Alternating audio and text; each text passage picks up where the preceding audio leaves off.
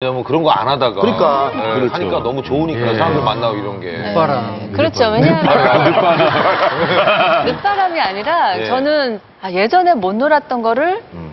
열번 논 거를 난 한 번에 놀아야 되겠다. 어. 뭐 그런 심리가 좀 맞아요. 있었어요. 그래서 그때는 그렇게 한 달에 한 번씩 이렇게 어떤 같은 생각 그리고 같은 시대를 살아왔던 사람들이 함께 모이는 게 음. 근데 얼마나 재밌는지 몰라요. 그러니까요. 얘기하면 그거 같이 굉장히 재밌어 모였으면 하길래 더 놀아줬어요. 예, 음. 진짜 저는 진짜 가면은 정말 실컷 놀으라고. 계속 예. 진짜 어떻게 오는 거예요. 가수들이 모이면 어떻게 놀아요? 홀 같은 걸 빌려요. 네. 음. 예, 홀 같은 걸 빌리면 네. 그래도 라이브를 할 수 있는 무대를 가요. 보통. 네. 네. 그래서 보통 그 밴드 하시는 분들을 뒤로 물, 물리시고 예? 뭐 이승철 씨가 기타 치고 와. 뭐 아니면 변진섭 씨가 기타 치고 노래 부르고 음. 예. 댄스 뮤직 하면 김완선 씨 모셔다가 댄스 막 발음 잡수 하게 하고 정수라 씨 하죠. 쇼 프로그램이네요. 이선희 씨가 원래 그렇죠. 대중적으로 이렇게 막 여기 안 하시잖아요. 예. 그분들 역시 노래 다 하시고 와. 거기에 생각해보니까 가수왕 출신이 세 명 있어요. 그 나름대로 다 예, 가수왕이죠. 그분들이 와서 다 노래 한 두세 곡 다 하시고 네. 김완선 씨 댄스 제대로 보여주시고 테이블, 테이블에 야, 테이블 위에. 올라가서 딱 아 진짜 한 두 번 올라왔다 두 번. 그것도 아예 막 치워져 이분들이 그러니까 우리가 막싹 올라가 치우고 올라가 해가지고 반짝반짝한 테이블 비치는 거 있잖아요. 예. 거기 올라가라고서.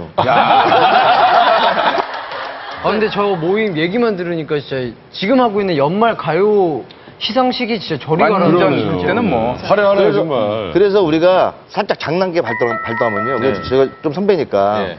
막 노래 대결을 시켜요. 특히 이승철 씨, 변진섭 씨. 자존심이 엄청 세신 분들이거든요.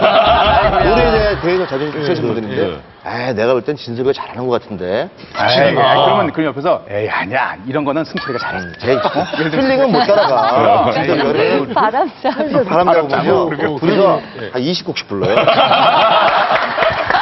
진짜 이렇게 있으면 이승철 씨가 계속 김한선 씨한테 계속 뭐라고 그런 소리가 들려요. 오빠라고 그래. 승철이 옆에서 오빠라고 그러니까 이렇게 계속 하고 있어요. 계속 어, 여기서 안 하죠. 절대 안 해요. 어. 그 술은 더 세니까. 끝까지 나가요. 아까 우리 저기 뭐 심신 씨는 우리 소방차 형들이 뭐 잘 보살펴주고 뭐 하셔가지고 네. 아, 예. 제가 대전에 그 의성회라는 그 곳에 노래를 하고 있었는데 데뷔까지 하게 돼서 이제 서울 올라왔어요. 올라왔는데 이제 형들이 저를 이 강남에 잘 나가는 클럽 있잖아요. 네. 음. 나이트클럽 문화를 좀 알려주셨어요. 아, 네. 그래갖고 저는 촌 사람이었잖아요. 완전 대전에서 처음 올라와갖고 음. 어우 나이트클럽 갔더니 이 술값이 쌀 한 가마니 값이더라고요. 기본 쌀한 가마니 값인데 그거를 갖다가 몇 가마니씩 이렇게 시켜 먹는 거예요. 그러면서 놀래면서. 와, 그 카페 문화.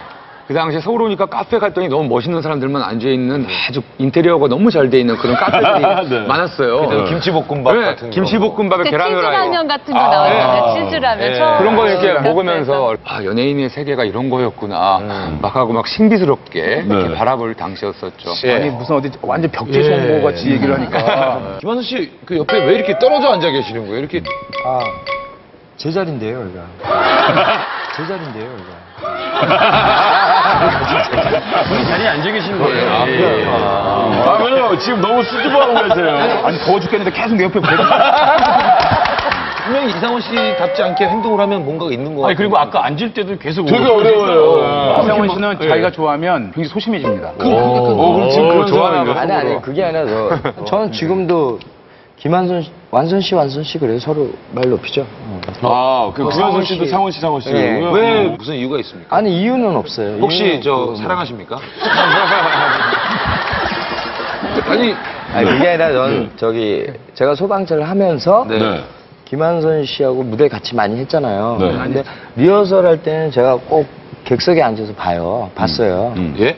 봤다고요. 네. 아, 리허설 할 때요? 어떤 개인적으로 생각을 팬이었죠 그때는. 음, 솔직히. 그리고 지금은 또 어떤 어느, 거예요? 어느 방송에 나가서 네. 여가수 중에 누구 좋아한다고? 누굴 제일 좋아했냐. 아. 그래서 아, 저 때는 김한선 씨가 최고였고 그렇죠. 개인적으로 굉장한 팬이었다. 아. 근데 기사가 좀 오바가 돼서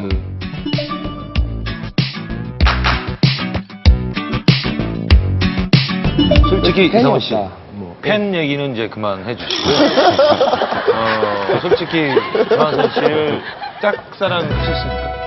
이제는 수 이제는 있죠. 말할 수 이제 있죠. 말할 수 예. 있죠. 20년이 지난 아까 얘기. 저희들 앞에 예. 그리고 또 이렇게 많은 여자분들 앞에 이렇게 하셨잖아요. 그걸 하시면서 이렇게 내가